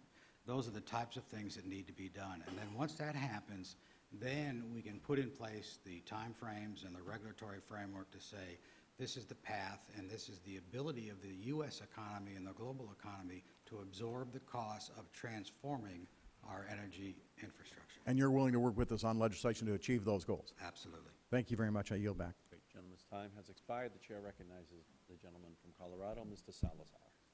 Thank you, Mr. Chairman. Um, Mr. Boyce, um, Senator Rockefeller and uh, Voinovich have proposed a phased-in technology incentive plan for CCS uh, that takes into account electricity production and industrial activities that produce CO2 and proposes incentives for CO2 development and deployment. Do you support that approach? Uh, the, we support the, the, the, premises in that bill. Uh, we're still looking at the specific language, but, but basically the concepts of enabling that technology, providing the framework for it, and then getting that technology right first, we absolutely support. Mr. Leer? I would concur. Uh, certainly have spoken with uh, Senator Rockefeller on it, and, and again, we'd like to review the details a bit more, but when you look at the premise, uh, it's, to us, going the right direction. Mr. Carey? Uh, Senator Voinovich, being from Ohio, we've worked very closely with him, and we are con still continuing to review it, but we like the premise. Mr. Chiaro? Yes, we certainly support the rapid deployment of CCS technology. That's why we're investing tens of millions of dollars in it ourselves to build the plant in California. Okay, well, I appreciate your comments. Uh, and we'll do the, we'll start again with Mr. Boyce. Uh, how uncertain, how is uncertainty over carbon and climate change legislation in the U.S. Congress affecting uh, the build-out of coal fuel uh, generation systems? Well, I think there's no question that we've got a, a, basically a standstill in terms of new investments in the advanced technologies or current technologies for coal-fired power stations. Uh, we all know there's been a number of plants that have been put on the shelf or canceled uh, over the over the last year to two years because of the uncertainty around uh, where are we going with carbon management in the future. Um, as I said in my statement, I think we ought to enable ultra supercritical and supercritical power stations to move forward. Uh, they've got a footprint of uh, anywhere from 15 to 40 percent lower carbon intensity of the existing fleet of plants that we have today. It's a fabulous first step. Uh, and then we add the carbon capture and uh, storage technologies uh, when they become available. to those plants, which would be, would be the preferred path. Mr. Leer? I would concur with uh, Mr. Boyce, and, and when you look at the uncertainty, I, I think uh, I try to put myself in maybe some of our utility customers' uh, positions and think what would I would be doing, and, and there were very few uh, good things that came out of the recession, but one of them probably was that we had moved back our capacity needs three or four years, and given all of the, the uncertainty that surrounds this question and other questions, and, and even if you look at, say, natural gas, uh, renewables, and, and where they might end up, my conclusion would be that I would stop building anything for a period of time and, and just sit there and wait for clarity to occur. My concern with that is that we will let that, that will happen, and then five, six, seven years from now, suddenly we will realize that the economy has, has started moving again, hopefully in a dramatic fashion, and we will see reserve margins starting to diminish, and then we will be forced into taking panic positions uh, and, and really uneconomic, I'll call them, uh, uh, decisions because you just have to. And at the end of the day, American people do demand electricity, and they have every right to do so. Mr. Chiaro? I think there's no question that the lack of a long-term carbon framework has a chilling uh, effect on investment in, in coal-fired power generation. That's why we've been arguing for getting such a framework in place as soon as possible. Okay, thank you. Mr. Carey, uh, you mentioned that uh, this legislation had provided only $10 billion for carbon sequestration, I think, in your testimony. Um, The chairman and Mr. Inslee say that the legislation provides $60 billion. Um, I just, I want clarification. Where do you get your numbers and where does? Mr. Chairman, uh, Congressman Salazar, I'd be more happy to provide that. The uh, gentleman, if the report. gentleman Yes. would yield, I thank the gentleman. Yes, there is a $10 billion that is included as part of a WIRES uh, charge that is included to support research and development in carbon capture and sequestration. In addition, uh, the Waxman-Markey bill provides $50 billion additional for bonus allowances uh, for carbon capture and sequestration installed uh, in coal-fired plants uh, before 2025. So it's a grand total of approximately $60 billion for the coal industry uh, for the research, development, and deployment of carbon capture and, uh, and sequestration technology before 2025. So, Mr. Chairman, would that go specifically to research and development of CCS? That is correct. And, and deployment. The $50 billion uh, is, uh, is for deployment of carbon capture and sequestration technologies in coal plants in our country before 2025. Thank you, sir, for that clarification. I yield back. Gentleman's time has expired. The chair recognizes the gentleman from Oklahoma, Mr. Sullivan. Thank you, Mr. Chairman. And first off, I got here late. I'd like to uh, extend offer my condolences to the victims' families of the mining disaster last week in West Virginia, and I look forward to an investigation into the disaster and learn what we can do to improve mining safety. Um, the- I have some questions for everyone. Um, If the United States were to cap greenhouse gas emissions without similar commitments from the devel- developing nations, how much would that lower uh, total worldwide greenhouse gas emissions from burning coal? Uh, If we were the only ones that did it, no one else does it, is that, is it significant? Well, the, the, the reality is, we know that China has become the largest emitter of CO2, uh, and that doesn't even include the rest of the world outside of the U.S. So even with a cap here in the U.S., if nothing else was done, particularly in the developing countries, uh, the impacts would be negligible in terms of any impact, uh, in terms of addressing rising levels of CO2 in the atmosphere. Again, uh, we would concur with that conclusion. If you look at the developing world and the developed world, uh, CO2 emissions in Europe and, and uh, the U.S. Uh, essentially have flattened. I mean, they, they're still growing slightly, but they have essentially flattened. Uh, the developing world is now emitting more CO2 than the developed world. So again, we come back to really my fundamental engineering premise. If we're going to address this problem, it is carbon capture and sequestration, and we share it with the rest of the world through trade agreements, commercialization, whatever, however we get it there. But it's going to have to be cost effective from their perspective.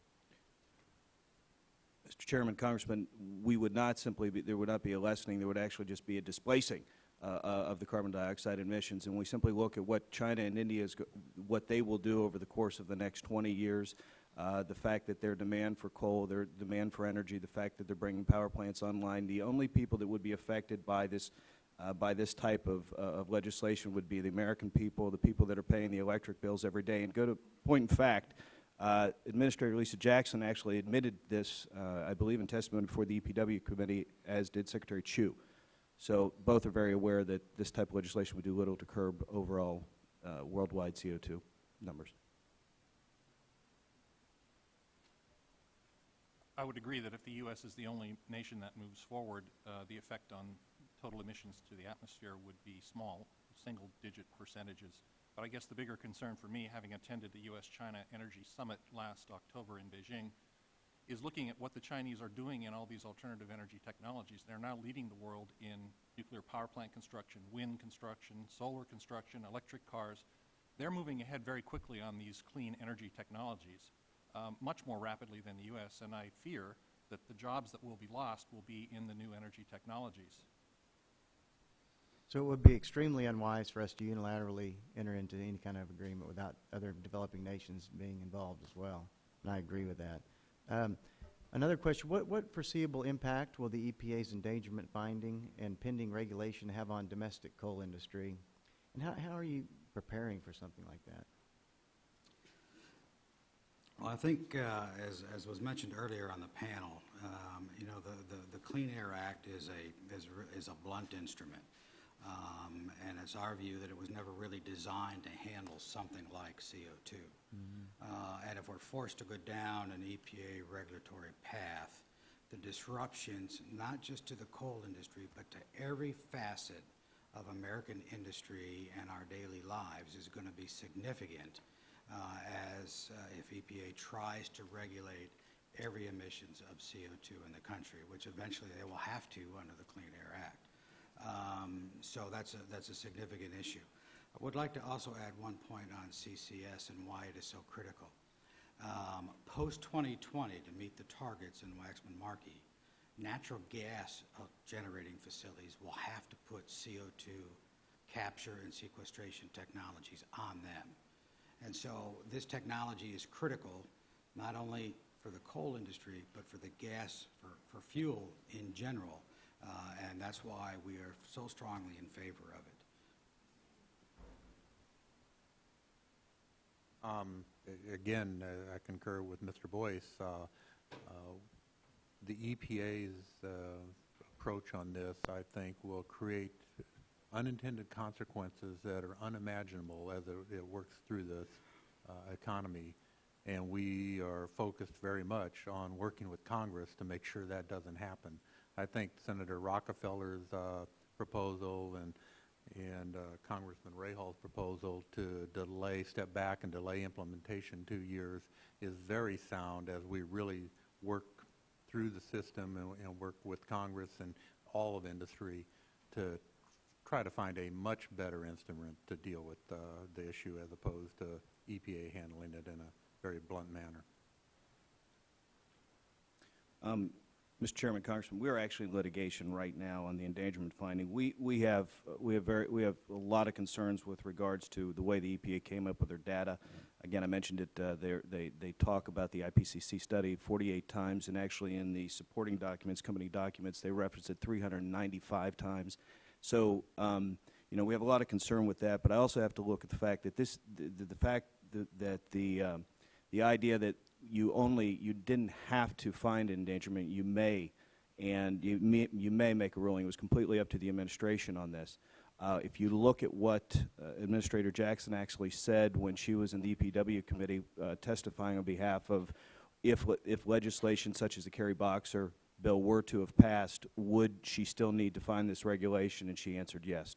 So, um, you know, we, we're very concerned with this, and, and, and and we're concerned about what that would do to the jobs. Again, we're talking about the elimination of thousands of hardworking coal mining jobs in areas of this country that don't need to be hurt economically any more than they are. This is about families. This is about small grandchildren. This is about people that are trying to provide for their families, and we are very concerned. we don't think the Clean Air Act and the endangerment finding is the best approach to address the climate change issue, which is why we are a member of the U.S. Climate Action Partnership and, and support the principles that are largely embodied in H.R. 2454. Gentleman's time has expired. Thank you, thank you, thank you, gentlemen. Gentleman's time has expired. Uh, And by the way, it- and the Chair will recognize himself for another round of questions. By the way, that's the point, the point that Mr. Chiaro is making.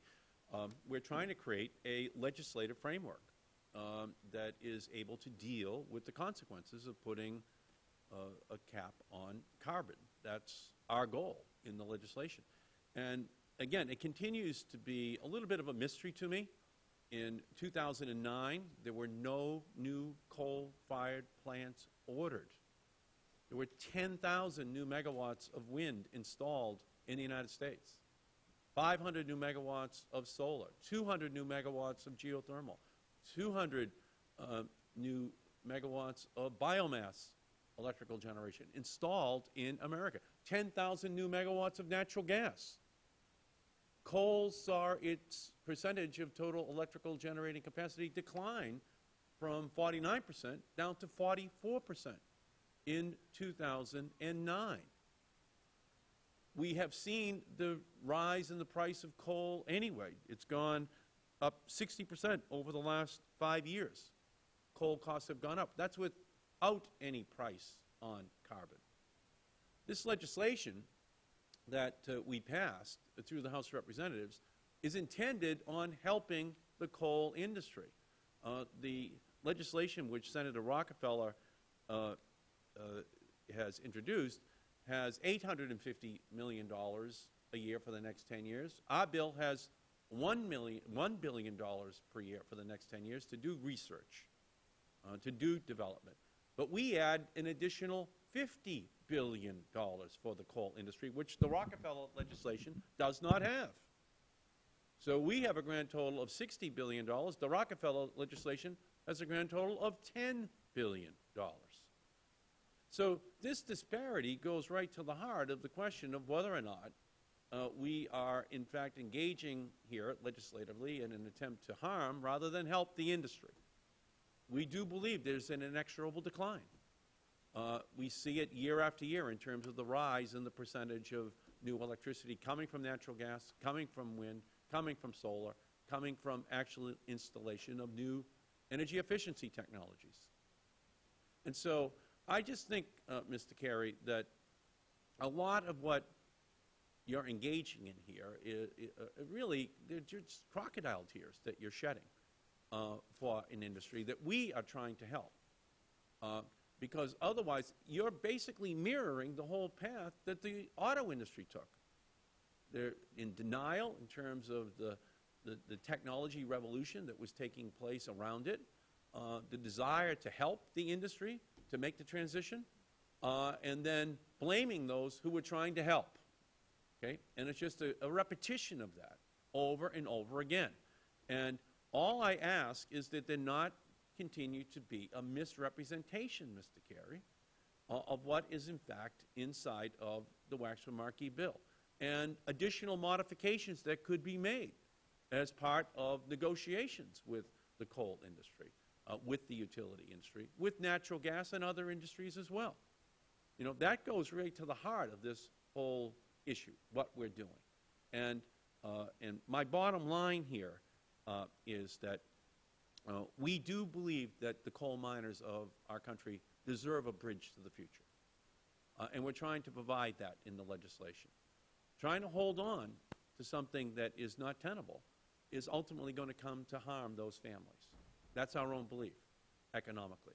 And the reason, and we'll go back to Mr. Chiaro's point, the reason that we do believe that we have to fund carbon capture and sequestration is that we have to solve it for the rest of the world. We have to develop a technology that can be used in China and in India. That's our responsibility as a nation. We are a technological giant. We have the capacity to do this. The companies who are at this table are investing in carbon capture and sequestration technology. They are global companies. So they know that this is moving towards them not only here but in other countries as well. We're trying to provide the leadership and have the United States be first in its deployment. So that's really what this debate is all about.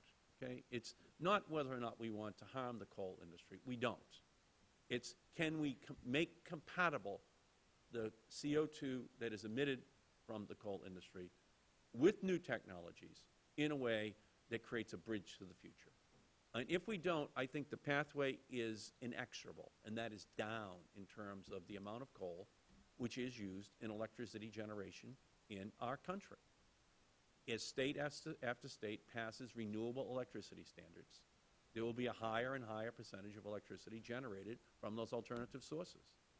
We've all read the headlines in just the last uh, a couple of months with uh, ExxonMobil purchasing uh, a, a, a basically unheard of small natural gas company, which along with six other natural gas companies have discovered enough natural gas in our own country to increase natural gas reserves by 30 percent. And all of this has occurred just in the last two years. So this pathway is one where we want to partner with the coal industry, you know, to create this new technology in partnership with you, okay? And again, I keep coming back to this uh, because we do not believe that this should be adversarial. We should try to partner in order to find a way to accomplish this goal to the mutual benefit of our country and the coal industry. Otherwise, I am, I am very much afraid uh, that the, there will be negative consequences uh, for the coal industry because of the development of alternative technologies in other electricity generating sectors in our country. And, uh, and so I just, I come back to use my five minutes to make that point, and again, to invite the industry to partner with us to solve the problem rather than continuing to engage in these kind of historical remain demand debates about whether or not the science is accurate or not. Um, it is, uh, but rather to really work as to how we can construct a technological pathway for the coal industry. If we do that, then it will be win-win. The chair's time has expired again. Let me turn and recognize the gentlelady from West Virginia, Ms. Capito.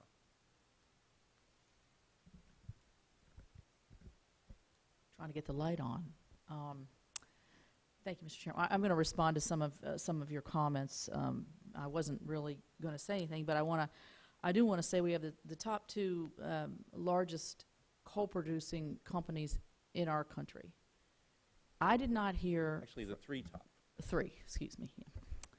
I, I did not hear a pushback or a um, denial that CCS and increased technology and research is going to be um, a bridge to the future. I think they're fully engaged in this. They realize this is the bridge to the future and that this will continue to use our most abundant resource and keep people working. You mentioned that we've used less coal. So I, I think we, we have unanimous consent that this is the direction that we need to go. Um, you mentioned that less coal was, was, was used in 2009. We had a national recession. Many of our, uh, my own district, we lost Century Aluminum out of our district, which was the largest energy consumer in our entire state, moved to, um, of all places, Iceland. I, I, uh, but you know that that is an enormous hit across this nation in terms of why have we used less coal. Um, the other thing is, you mentioned that no, no new coal plants, uh, coal-fired plants had been developed. Uh, you know, this begs a whole nother issue, this whole permitting issue that we've been talking about. This is an, an, an area that um, is pervasive in this administration with the EPA and other regulatory uh, agencies uh, basically conducting an anti-war agenda and, and I think an anti-coal agenda. And I think that's part of what we're seeing with the lack of permitting. So I, I do think that we agree that CCS, I'm really proud that the first uh, experimental uh, AEP plant is in, is in one, of the second largest coal producing state in, in this country, in, in West Virginia. Um, the other thing that I think uh, Mr. Chiaro has brought up por- sort of peripherally, it, it's, but it's not the subject of this debate, is that, or this uh, testimony, is that the natural gas industry is going to have to also um, be at the forefront of this technology to be able to exist in, in the existing plants that we have right now. And so I think, um, you know, that we realize in a state like West Virginia, whose state economy is heavily reliant on coal, that, that we need to begin to transition and transition into more uh, advanced and more refined technologies to be able to use this. But at the same time, I've heard in the testimony, if we're going to ask for renewable standards, and, that, and that's great, but you're not calculating in we're going to have a larger demand for all kinds of energy. Why wouldn't we consider putting C, uh, CCS or uh, carbon uh, sequestration as part of a renewable standard like they have in Pennsylvania? And I I'm not sure if it's in our West Virginia standard or, or it was put forth as a West Virginia standard. So these are kind of questions that have come forth with me. And I think that, you know, uh, acknowledging in your bill, while I didn't vote for it, that $60 billion, and also somebody says over here, well, you're saying you don't want $60 billion. Excuse me, the bill's over in the Senate. We haven't even passed this. It's not like anybody's turning their head down to $60 billion to try to invest in a technology that's going to keep people working, make sense economically. So we're just looking for common sense solutions. Let's look for a way to move forward. Maybe if we extend the deadlines out to where the technology can catch up to where we can meet admission standards.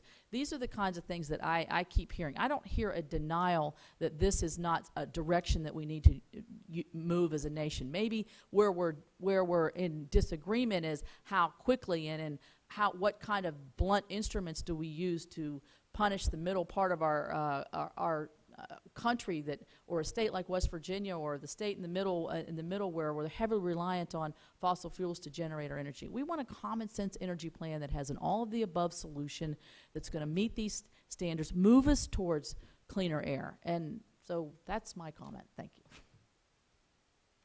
Thank the gentlelady. The gentleman from Washington State, Mr. Inslee.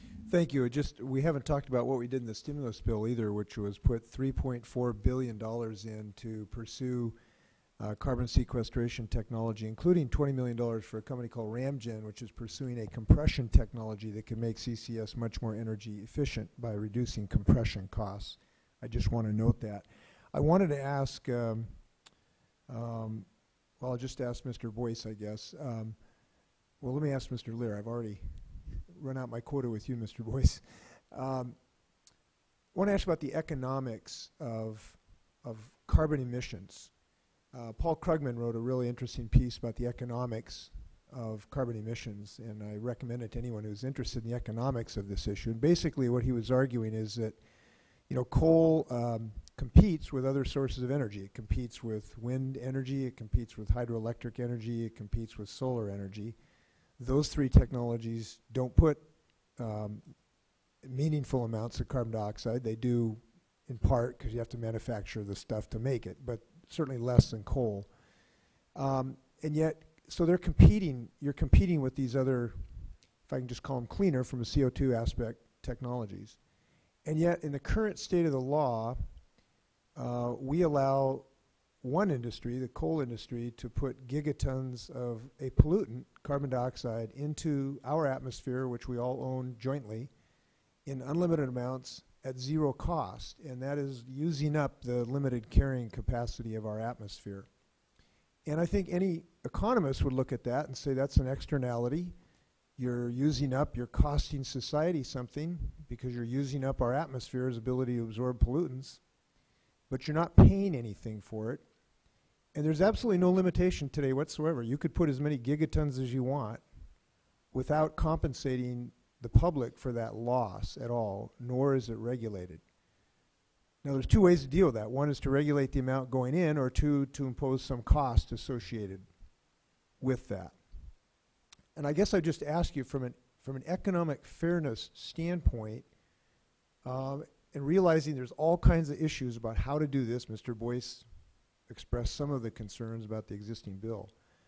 I guess, Mr. Leer, do you think it's fair for the coal industry to be able to impose this cost on the rest of the world and be able to put unlimited amounts of carbon dioxide in the atmosphere at zero cost from an economic standpoint? Do you think that's a good economic system? Well, Congressman, uh, you know, I appreciate what your question is, and there's always a, a, a large debate on externalities and, and what, what price they should be and, and the, the real costs. Uh, but I think it's reflective also, and, and you're, you're not addressing in your question at least the other side of the equation is that um, coal is the most competitive uh, fuel source typically in, in most applications around the world other than hydro. Uh, and then you can get into dams and the externalities there and, and uh, other questions. Um, and that low cost gets passed on to consumers. So uh, is there, can there be a price on carbon? Yes, there can be a price on carbon. And will that ultimately end up in, in consumers' costs of electricity, costs of products? Uh, yes. I mean, that's the system. Um, ultimately, that will be translated, or the business will go out of business. I mean, that, that can happen as well. Uh, today, when you look at all of our uh, renewables, the way we are establishing and promoting renewables is to subsidize them heavil- heavily to try to make them more competitive with fossil fuels, and that's okay. That's you know that's what we're going to have to do with carbon capture and sequestration as well. So, uh, you know, in in the premise is is there um, could there be a cost for carbon? Certainly. Will that cost ultimately end up in, in the price of electricity and the price of all goods and services in the U.S. or elsewhere in the world? Yes. So let me ask you uh, the experience we've had on on on uh, trying to drive new technologies. When we needed a new technology to deal with sulfur dioxide, uh, which scenario occurred? Scenario A, the industry on its own devices went out and made an investment to develop the technologies to deal with acid rain and develop the technologies to reduce sulfur dioxide emissions. Or did scenario B take place that the U.S. Congress impose some cap, if you will, on the amount of sulfur dioxide going out, create a price associated with that pollution, and the industry then, in response to that, developed the technologies to solve that problem? Which scenario occurred? Well, as you're well aware, the, the Congress did, uh, within the Clean Air Act, uh, both Phase 1 and Phase 2, uh, tighten um, SO2 regulations and ultimately the technologies uh, advanced and, and were put in place. The issue with SO2 compared to carbon is SO2, in, frankly, was more regional in the U.S. CO2 is global. And, you know, the, the, the point here, and, and also at the time, I think, you, if we go back, and, and, we're going back to the very beginning of my career, um, there were alternatives. The, you know, utilities could do an, an economic evaluation of moving to low sulfur coal. Scrubber technologies were, did exist. They got advanced further as a result of, I think, the legislation, but they were in, in existence. If, if the and chair we just find ourselves earlier in the, in the technology curve at the moment. Chair, indulge me just one more question here, if, if I may. Do you really think the industry would have solved the acid rain problem by itself in the absence of a regulatory requirement that they do so? Do you think they would have voluntarily made those investments? L Well- looking at it in retrospect? You know, in, yeah, I, one, I'm in the coal industry, you're really asking a utility question, but uh, I think the utilities would have started to address it. I think the legislation advanced it further, Thank you. or faster. Thank you. Yeah. I would point out, we don't have a lot of time on this one either. Well, that's why carbon capture and sequestration is so critical. As is this bill. Thank you. And, uh, and, and while we have you here, and, um, uh, and, uh, and you are the experts in the field, perhaps we could just get brief comments from you on this. The, the U.S. Mine Safety and Health Administration cited the Upper Big Branch mine with 1,324 safety violations from 2005 to 2010. In March of this year alone, the mine was cited for 53 safety violations, including improper failure to ventilate the combustible gas methane. Is that a typical rate of violations for mines, and uh, can you give us your sense of what is needed in this mine safety area uh, in order to make sure that uh, we reduce the likelihood that other families will suffer what is now being uh, borne by those families in West Virginia? Mr. Chiaro. Well, uh, I'm a board member of Cloud Peak Energy, the former Rio Tinto um, division, and I'm happy to say that we have the best safety record uh, of the of the mining industry um, at Cloud Peak, and Rio Tinto generally has a very good safety record. We we we don't see the kind of level of violations that you're talking about at any of our mines. To be fair, our mines are in the Powder River Basin. They are open cut mines. They tend to have a different set of hazards associated with them than the, the underground mines in the east, and so I would expect there to be some difference. Um, But I would have to say that if I saw that level of violations at one of my mines, I would be quite concerned. Thank you. Mr. Carey. As I mentioned in my uh, written testimony, Mr. Chairman, and also, um, I- I believe my oral, uh, the importance of mine safety is, is- is very critical to Ohio. Uh, Anybody, I I- do want to give an anecdotal example, just real quickly. Uh, I was driving in, and there's a barn that, uh, on my way to the airport from my house in Ohio, and on that barn, it says, "Every day is Earth Day to a farmer." And I can assure you that every day is Mine Safety Awareness Day to every coal operator and every coal miner that goes into the ground every day the issues revolving around this tragedy. We do not know all of the answers yet. We do not know, I don't know the level to what the fines, the seriousness of the fines, or the amount of fines, or the size of the mine, or any of that. It's not in Ohio. But I can assure you that it will be addressed, and we just have to keep those miners and their family in our prayers. Mr. Leer. You know, safety and environmental compliance are core assets, core values with Arch. When we look at uh, violations, uh, we report them every, every week I get a report. If it's serious, I get it instantaneously. Uh, If you look at operations like ours that operate large deep mines, large surface mines across the entire United States, we would argue with our peers, and it's a bit different than the, the profile that uh, Mr. or Preston talked about, was we really think we do lead the industry in, in overall safety, um, performance, incident rates, lost time rates, and we set a standard that really our board doesn't even allow us to compare ourselves to the industry. We can only compare ourselves to ourselves. And last year was a record, the year before, beating the year before record. This year, uh, we're off to a record start. We'll see how the year finishes. Uh, we take it very seriously. The number of violations uh, that uh, have been reported, and I certainly haven't uh, verified those myself. And I think you have to look at the severity of the violations because within the, the framework of the coal industry, it is true that the big mines virtually every day are being inspected uh, by a state or federal inspector. And some violations are very, very serious, and some um, are really almost uh, a, a traffic ticket approach. And, and the key that I always preach to all of our employees is we take them all very seriously, but if there is a violation out there that has endangerment and, and really uh, a major concern on safety, you better be on it before the inspector gets there, let alone when the inspector is there, and we will fix them immediately. Thank you, Mr. Leer. Mr. Boyce.